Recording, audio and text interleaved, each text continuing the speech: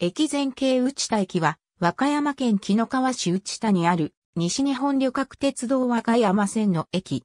1日に、各方面2本ずつしかない快速列車が停車する。相対式2面2線のホームを持つ行き違い可能な地上駅。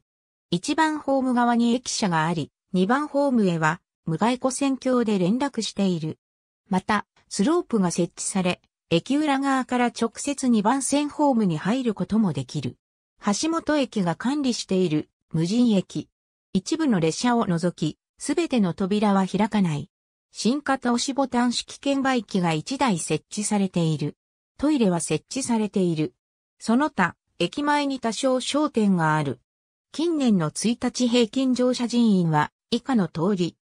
内田の名称は遠い昔、現在の内田地区が木の川の内にあったた、木の川と烏川の内にあったたということで、内田と呼ばれていたが、いつしかこの地区が内田から内田に変わったという言い伝えが残っている。